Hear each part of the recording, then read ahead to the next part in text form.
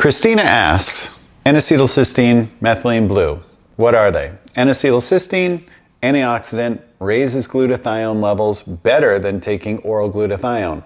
It was potentially going to be taken off the market. Amazon, Walmart uh, pulled it off for quite some time. As of last year, the FDA was uh, looking at making it a new drug, which is crazy because it's been out for decades. It is super effective for boosting the immune system, immune system function. Uh, it's an antioxidant itself, and again, raises the master antioxidant glutathione. Methylene blue, it's a fishbowl cleaner that is not approved orally, not approved as a dietary supplement by the FDA, and meant to be a dye and used in fish bowls. I get that it's, uh, you know, has some potential anti-aging purposes and really could be quite effective, but I worry about the sources. It is not tested, meaning like tested for purity and health, so I do worry about it.